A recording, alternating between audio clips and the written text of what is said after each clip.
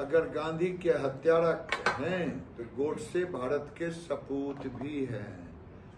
वहीं भारत में ही पैदा लिया है। औरंगज़ेब और बाबर की तरह आक्रांता नहीं है। और जिसको बाबर का औलाद कहलाने में खुशी महसूस होता है, वो कम से कम भारत माता का सही सपूत नहीं हो सकता। अगर गांधी के हत्यारा हैं तो गोडसे भारत के सपूत भी हैं। वहीं भारत में ही पैदा लिया है। औरंगज़ेब और बाबर की तरह आक्रांता नहीं है।